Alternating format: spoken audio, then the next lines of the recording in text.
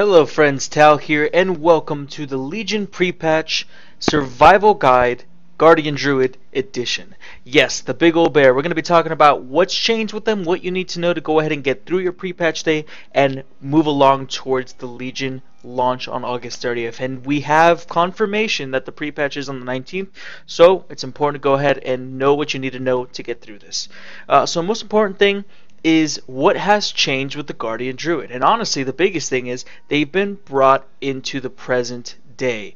Honestly, as much as a lot of people have liked the Guardian Druid, their design has been antiquated for a very long time to the point that it necessitated big big buffs and changes in Legion to actually make them even vi- eh, not in Legion but um, in Hellfire Citadel to even make them viable for the fights there. And those small changes made them really strong, and they're just getting even stronger here in the expansion. So we're going to go ahead and talk about what's changed. Right now, it's basically just your active mitigation.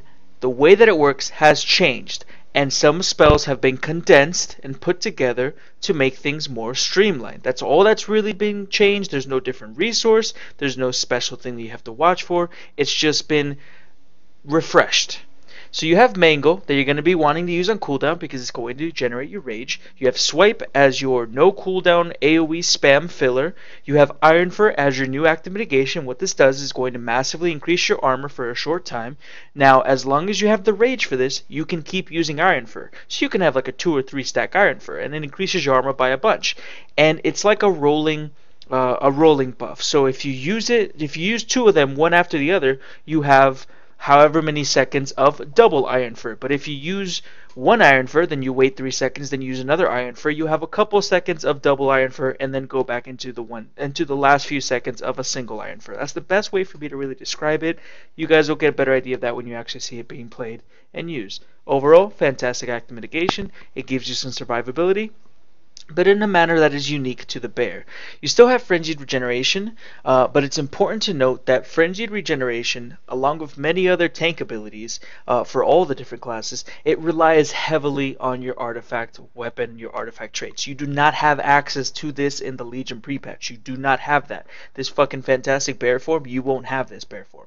So keep in mind that frenzied regen, I'm not sure how it's going to play out with level 100, um, you know, mythic geared stats and everything, but suffice to say, Frenzied Regen is shit without the artifact traits, without the extra healing and everything else. So you really cannot rely on this in the pre-patch. I wouldn't say um, this is a heal, yes, and it actually works similar to Death Strike, and that's going to heal you for the portion of the damage you've taken, but it's nowhere near as strong as it's meant to be. Just keep that in mind. Balance is an overall thing. You don't have access to artifact traits yet. Thrash is something that's going to be doing, uh, it's basically your rotational ability. It's a combination from Lacerate, so it's going to be applying a dot as well. It's going to hit everything around you, has a couple second cooldown, give you some rage. Um, you can actually see right here, it's going to generate E4 rage, it's going to put a bleed on everything, it's going to be reduced by haste. It's your big rotational ability. And then you still have Barkskin, which is going to reduce all damage taken for a short time. It's your shorter cooldown, and it's going to be available to you.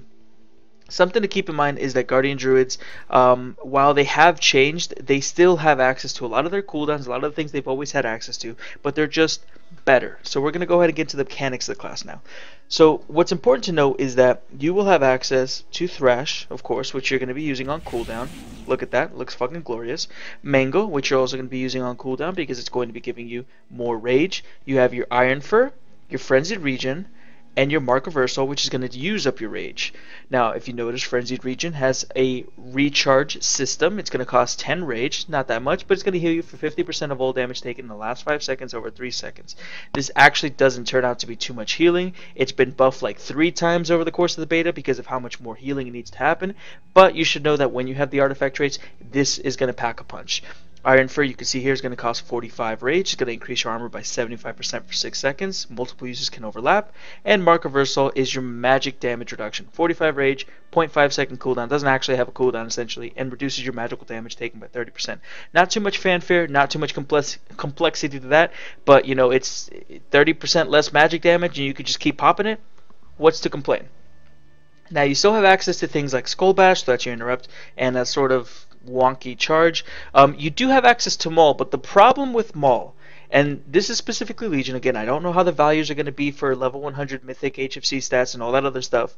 Um, Maul doesn't even feel worth pressing. It doesn't. The damage it does is, is pitiful. Um, it has a cooldown for some strange reason, even though it's your rage dump. But most of the time, you're just better off doing something else. You'd rather use that rage on Ironfur and then just spam Moonfire, which, yes, as a bear, you have access to Moonfire. It is your single target filler and your ranged puller. Basically, if it's AoE, you swipe. If it's single target, you Moonfire done deal.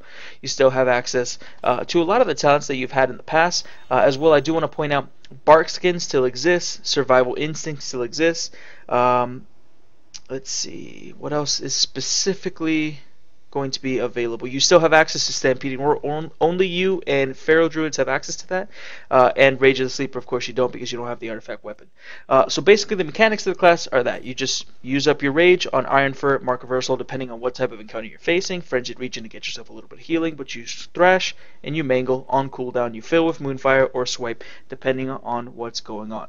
So, with all that being said, let's go ahead and get into the talents.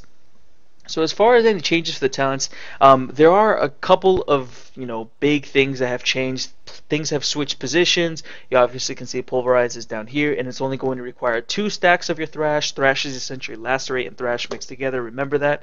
Um, but overall, I mean, the biggest thing that I would say here, you obviously want to read all of these changes, uh, specifically things like Galactic Guardian, which it's going to give you a proc on Moonfire, giving you more rage. Your CC tier basically hasn't changed. Uh, your kind of speed tier or movement tier has changed in the sense that Guttural Roar, Roars is going to increase the radius of Stampeding Roar and reduce the cooldown of it. You kind of need that in certain raid fights, you know. Uh, but the biggest thing that I would say about the talent changes is the affinities. You have access to a Balance, a Feral, and a Resto affinity, and only when you spec into one of these do you get the spells for that affinity. This does give you the ability to go into a little bit of a healing mode as well as a passive, do a little bit of melee DPS as well as a passive move speed buff, and do a little bit of range DPS as well as a range increase on your abilities. Um, their use is going to be situational. It is a very situational tier. If you just want to be, you know, just healing yourself, healing your allies, you go ahead and go resto. But otherwise, you want to look for good situations to use the other affinities. But that's the biggest thing of note that I can say about the talents. Please, guys, read all your talents. Read the ways that the different spells work. Um, the other thing that I think is is important to say is that there is a big change to your mastery. So what is mastery going to do? Mastery is going to increase your maximum health and the healing that you receive by whatever percent that your mastery is. It's a very, very big thing. You are the meat shield tank. You take more damage than other people, but you have more health to compensate, and you receive more healing because of it. I'm not lying when I say Guardian Druids are very, very, very powerful.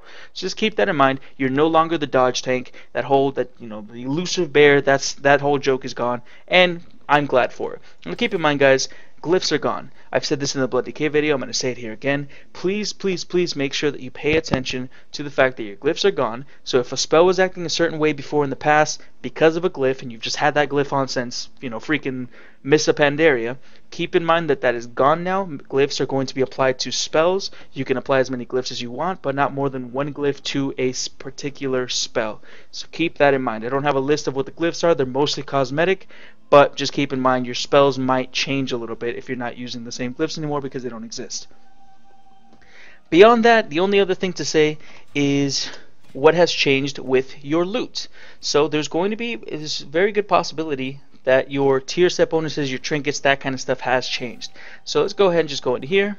And the first thing of note is, as soon as I find it, there we go. So your tier set bonus. Your two set is Iron Fur, also increases heals done to you by 20% while active, and you basically have Iron Fur up all the time, and your mastery is already giving you extra healing. That scared the shit out of me, just gonna go ahead and say that.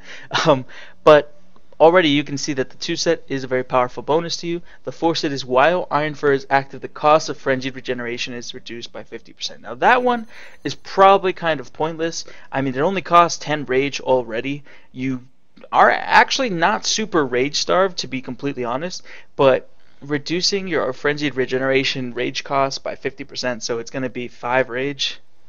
I mean, it already doesn't really heal for all that much. Um, you could probably skip the four set, honestly, but if you already have it, you don't feel like switching, you're lazy. It's it's a nice little bonus. I wouldn't count too much into. I wouldn't look into it too much. The other thing to note is that bonus armor is gone. Your trinkets, your neck, your ring, all that kind of stuff will not have bonus armor on it. So please, please, please keep that in mind. Don't like freak out and think you have the wrong gear on.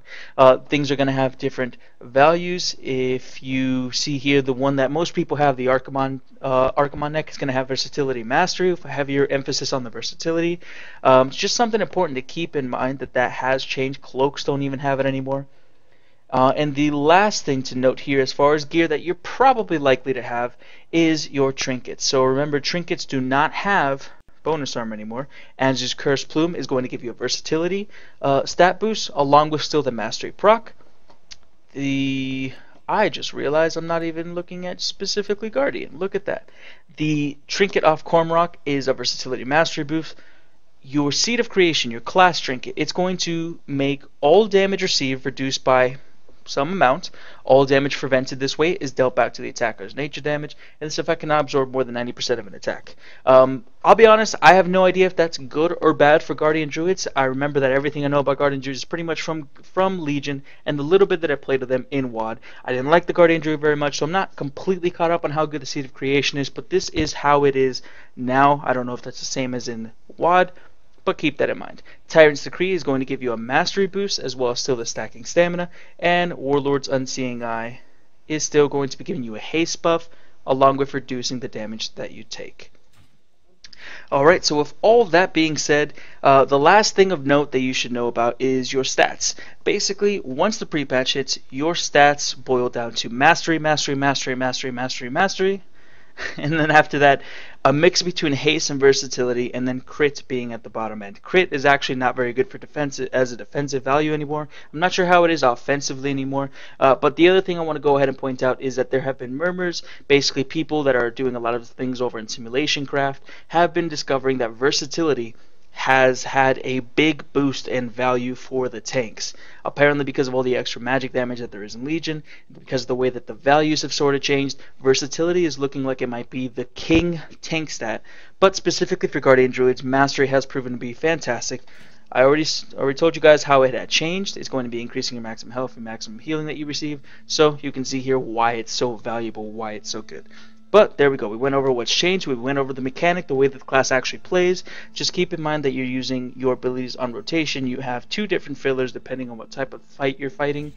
And you have your big cooldown, two charges, your shorter cooldown, and you have your active mitigation specific to what kind of damage you are taking. That's basically all you really need to know. We covered talents, we covered stats. There you go, guys. That is your Guardian Druid pre Legion pre-patch survival guide. I hope you guys liked this video, and if you did, please go ahead and drop a like. Subscribe to the channel if you want to see more, and I hope you all have a fantastic, wonderful day. I appreciate all of you greatly.